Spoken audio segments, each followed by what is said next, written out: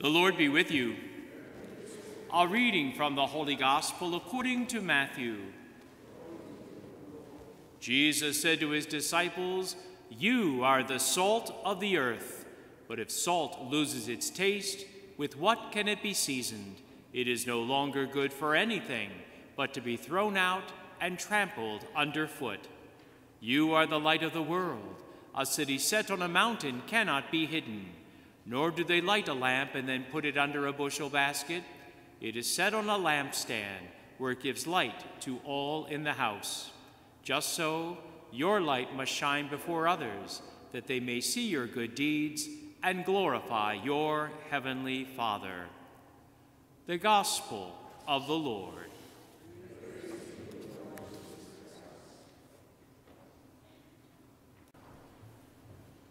You are the salt of the earth.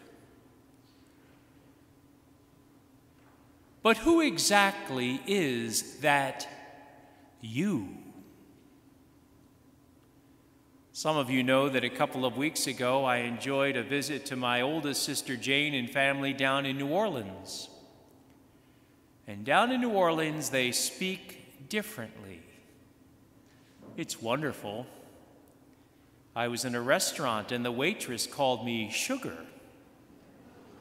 I'm going to go back to that restaurant. And of course, most famously, they say you all.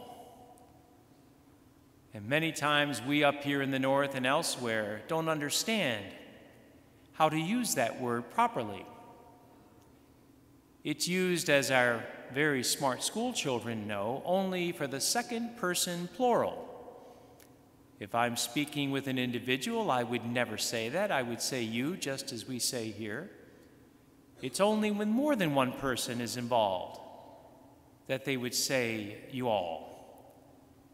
And in fact, that's the norm around the world in every language. Just about every language Spanish, French, German, Italian, and so on they distinguish when you're speaking to an individual you or a group of you. In fact, even out east, where I'm from, one person is you, more than one, use guys.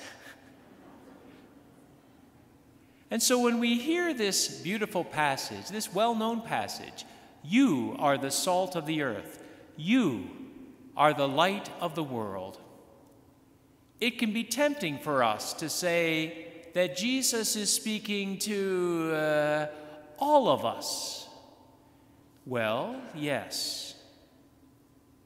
But what then happens for so many of us as Catholics is this we go from thinking he is speaking to all of us to thinking that he is speaking to all of us except for me.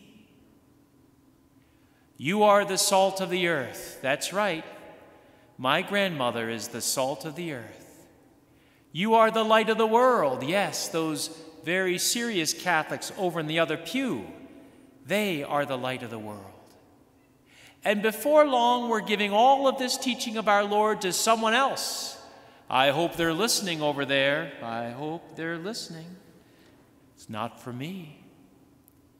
And yet, of course, this entire Holy Scripture is written to you and to me, to each of us, not just all of us, but to each of us. And years ago, someone gave me a tremendous piece of advice. When I was a young boy, they said the Bible is a personal letter to you.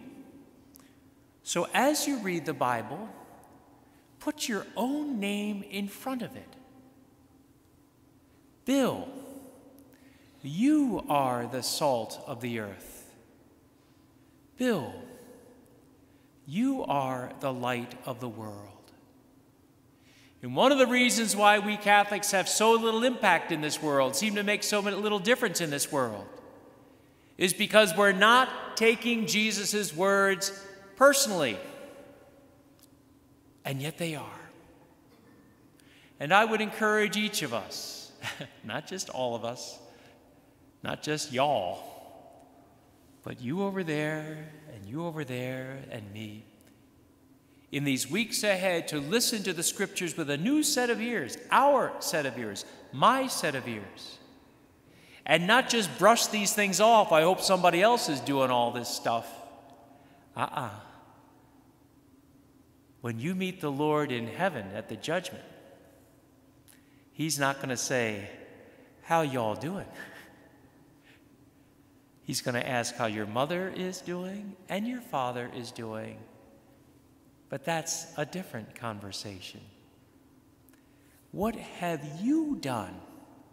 He will ask, with what I have told you to do, with what I have called you to do, what I have given to you to do.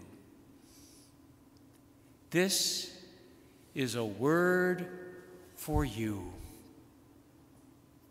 Listen. Listen to Jesus, not as he talks to the other side of the church, to those other people. Jesus is speaking to you.